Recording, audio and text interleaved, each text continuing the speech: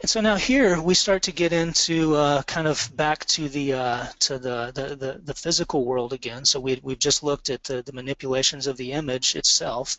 Uh, so next thing we needed to think about was how do we um, how do we visualize this image on these panels uh, by punching holes in the panels, knowing that we're going to have to work with uh, either an open uh, you know, a punch, a hole, or a, a field of just the material itself. And so um, juggling that against the criteria that we have for the uh, the triangles, um, we needed to determine what's the best procedure to lay out the perforations and, and how will those uh, how, how will those be aligned.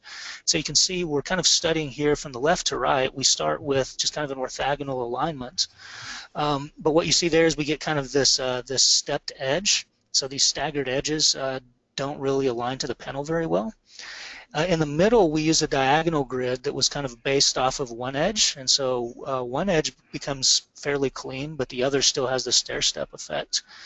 Um, in the end, or at least where we are now, what we went to is we kind of subdivided the grid. Uh, so we took that triangle and we, we used a series of subdivisions so that we could align the perforations to every edge. So we got a nice mm -hmm. clean edge and, and a nice uh, and a nice spacing between the perforation. Mm -hmm. That makes sense.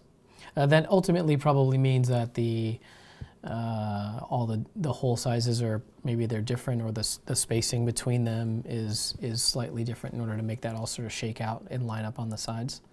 Exactly. What, what, we're visualizing here, we're using a, a single um, perforation hole size, okay. uh, really to kind of understand what the largest hole we're using. Can we maintain that half inch spacing and we can, mm -hmm. can we kind of see where our center points are going to be so that we know as we manipulate that, that uh, diameter of the hole size, they're still going to fall within this grid. Okay. Okay. And then moving ahead, um, we're looking at perforation density next. And so, um, as you can imagine, uh, in order to, to show this image, we need to kind of fine tune the density of the perforations uh, with the image map itself uh, at the actual size that it's going to be so that we, we know that on one hand if we have uh, too much density, um, it's going to give us one look uh, if we take that to the extreme and we, we make this uh, uh, as few of perforations as possible, it may not give us enough uh, enough fidelity to work with in terms of, uh, of the image itself. So you're seeing here from left to right uh, just an increase in density of these perforations laid out on the, the subdivided grid. Okay. Uh, next, we, we used a noise multiplier uh, procedural, and so this is uh, kind of the you know noise algorithm like you might have in, uh, in different uh, photo editing software that we just ran through our, our uh, Visual Studio.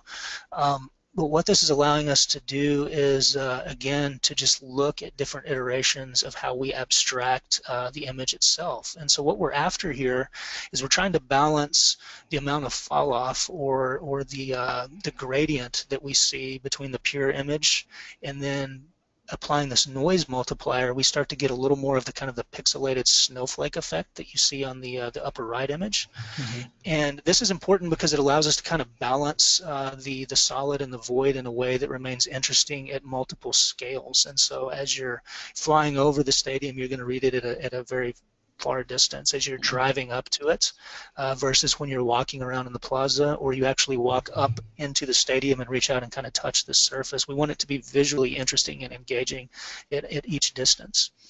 Uh, and so down below. Heath, let me ask you actually. So, uh, just to sort of zoom out to 10,000 feet again, what you guys are doing here is, is these studies here on, uh, on how to handle the edge, um, the density, and then also now about the noise um, multiplier.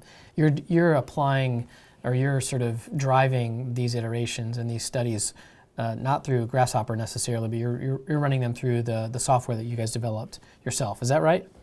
That, that's that's correct, and, and and what that software is essentially doing is it's it's allowing us to use other software such as Photoshop um, to apply these procedures. Uh, some of the procedures are applied with the with the you know the kind of the custom. I don't know if we would call it an application per se because we haven't uh, we haven't developed a UI that we would release this, but it's something that we can work with, right? Mm -hmm. uh, but this allows us to just handle knowing that for each of these that we're doing, um, we're going to need to do 75,000 of them. Mm-hmm. kind of understanding how how can we apply this you know these this many iterations of, uh, of procedures uh, to this image and then map it to this uh, to this triangle 75,000 times mm-hmm. Uh, so that everything coordinates. Mm-hmm. So that's really kind of the reasoning that we're using that custom application. Okay, because you had so many panels that you know you would have you would have broken Grasshopper or you would have broken some some other tool um, in terms of trying to process it and do you know as many iterations on this as you wanted to.